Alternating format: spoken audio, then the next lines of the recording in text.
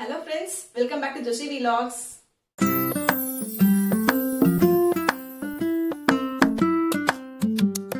இன்னைக்கு நம்ம ஒரு ஸ்வீட் ரெசிபி தான் பார்க்க போறோம். என்னன்னா ரவா கோகனட் ரோல்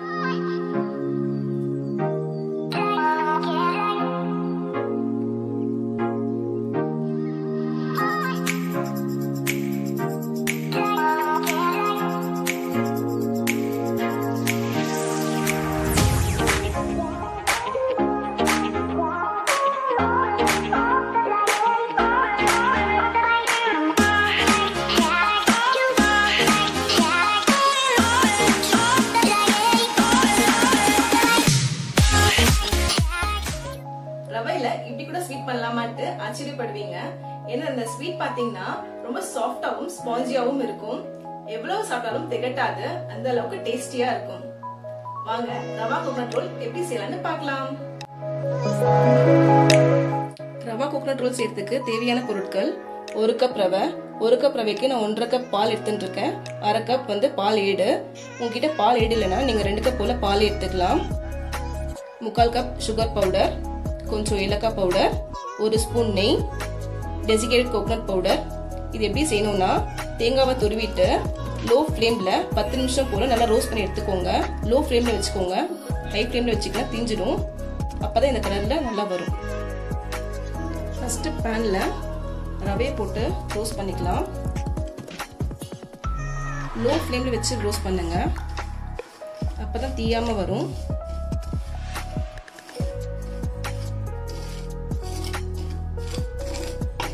ரவை ரோஸ்ட் ஆனது உங்களுக்கு தெரியலன்னா நீங்கள் ரோஸ்ட் பண்ணிட்டு உங்களுக்கு வந்து நல்லா ஸ்மெல் வரும். நல்ல ரோஸ்ட் ஆன ஸ்மெல் நல்லா வரும். அந்த டைமில் நீங்கள் வந்து ஃப்ளேம் ஆஃப் பண்ணிவிடுங்க இப்போ ரவை நல்லா வறுபட்டுடுச்சு. இது வந்து பேன்லேயே வைக்க வேண்டாம். ஒரு பிளேட்டில் நீங்கள் சேஞ்ச் பண்ணிக்கோங்க.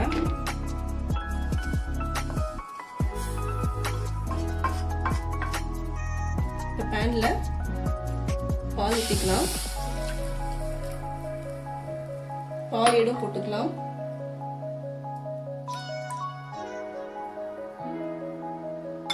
இது கூடவே நெய்யும் சேர்த்துக்கலாம்.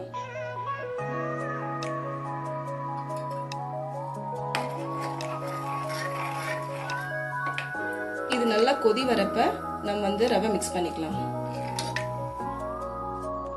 நல்லா கொதி வந்துருச்சு. இப்போ கொஞ்சம் கொஞ்சமாக ரவை மிக்ஸ் பண்ணிக்கலாம். கொஞ்சம் கொஞ்சம் மிக்ஸ் பண்ணிக்கோங்க. கட்டி ஆகாமல் வரணும்.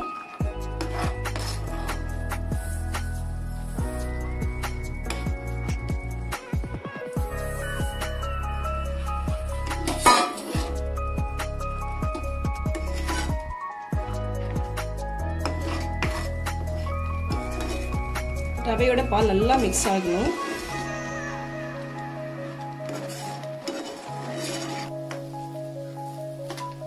பாருங்க பாலோட ரவை நல்லா மிக்ஸ் ஆயிடுச்சு. இந்த டைம்ல நம்ம நாலு ஸ்பூன் போல கோகனட் பவுடரை மிக்ஸ் பண்ணிக்கலாம்.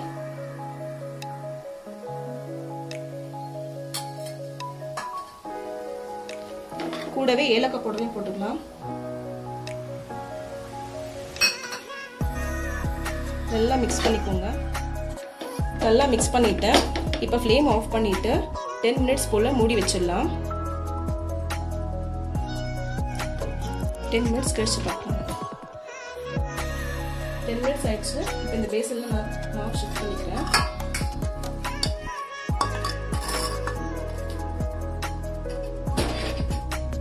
இப்போ இது வந்து மிதமான சூட்டில் இருக்கு.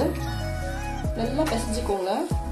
இது ஒரு ஏழு டு பத்து நிமிஷம் கிட்ட நல்லா பிசைஞ்சுக்கணும். நல்லா க்ரீமியாக வரணும். சப்போஸ் உங்கள் மாவு வந்து கொஞ்சம் ட்ரையாக இருக்க மாதிரி ஃபீல் பண்ணிங்கன்னா நீங்கள் கொஞ்சம் பால் சேர்த்துக்கலாம்.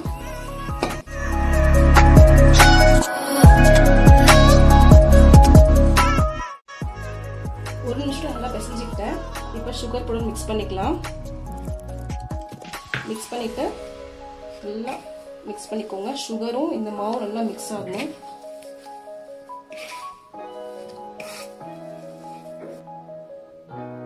இப்போ இந்த மாவு பாருங்கள் எவ்வளோ க்ரீமியாக எவ்வளோ அழகாக இருக்குன்ட்டு.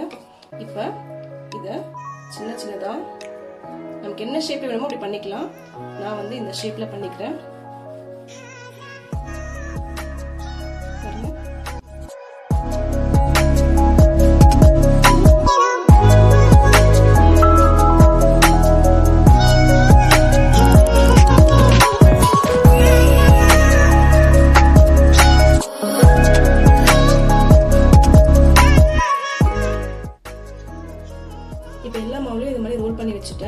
இது வந்து இட்லி குண்டால அஞ்சு நிமிஷம் போல வேக வச்சு எடுத்துக்கலாம். இப்போ அடுப்பில் நான் இட்லி பாத்திரத்தை வச்சிருக்கேன்.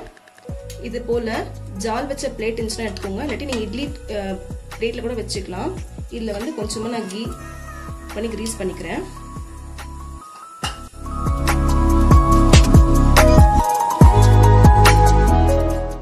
இப்போ இந்த பிளேட்டில் கிரீஸ் பண்ணி வச்சிருக்கேன். ஆயில் கிரீஸ் பண்ணி வச்சிருக்கேன்.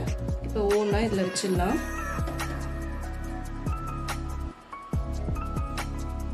ஒன்றோட ஒன்று ஒட்டாமல் வைங்க. ஏன்னா அது வேகிறப்ப சைஸ் டபுள் ஆகும் அதனால.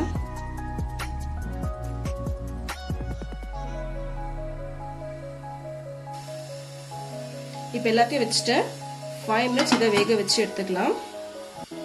ஃபைவ் மினிட்ஸ்க்கு அப்புறம் பார்க்கலாம். ஃபைவ் மினிட்ஸ் ஆயிடுச்சு. நான் ஃப்ளேம் ஆஃப் பண்ணிட்டேன்.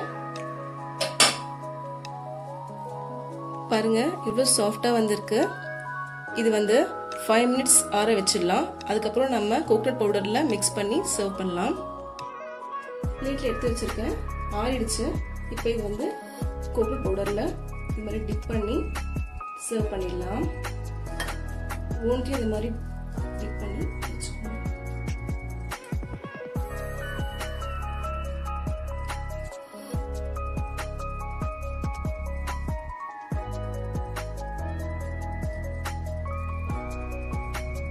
நான் எல்லா ரோலையும் கோகனட் பவுடரில் டிப் பண்ணி இது மாதிரி ரெடி பண்ணி வச்சுட்டேன். நம்மளுடைய ரவா கோகனட் ரோல் ரெடி ஆயிடுச்சு. பாருங்க. இவ்வளோ சாஃப்டாக இருக்கு போடும்போதே. சூப்பராக வந்திருக்கு. இந்த ஸ்வீட் ரெசிபி நீங்களும் வீட்டில் ட்ரை பண்ணி பாருங்க. ட்ரை பண்ணி பார்த்துட்டு கமெண்ட் பாக்ஸில் கமெண்ட் பண்ணுங்க. இந்த வீடியோ உங்களுக்கு பிடிச்சிருந்தா லைக் பண்ணுங்க ஷேர் பண்ணுங்க கமெண்ட் பண்ணுங்க. மறக்காம சப்ஸ்கிரைப் பண்ணுங்க. சப்ஸ்கிரைப் பண்ணிட்டு பக்கத்துல இருக்க பெல் ஐக்கானை கிளிக் பண்ணுங்க. அப்பதான் நான் போடுற வீடியோஸ் உங்களுக்கு ரெகுலரா நோட்டிபிகேஷன்ல வரும்.